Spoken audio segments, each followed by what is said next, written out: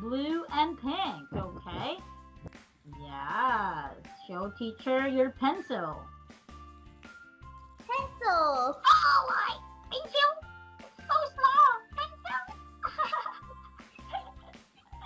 All right. So what color is your pencil? All right. What color is it?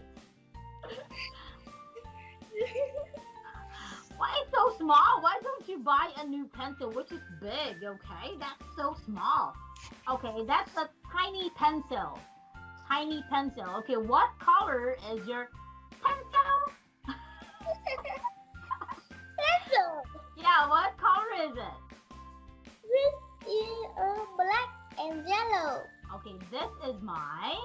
This This is is my pencil. It is black and yellow.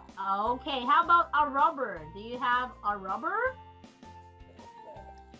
Pompeii was a city of 20,000 people in the south of Italy. 2,000 years ago, it was a very modern city. Lots of the house had running water.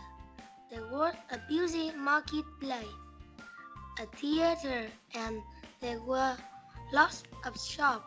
The shopkeeper sold things that came on big ships from different countries around the world.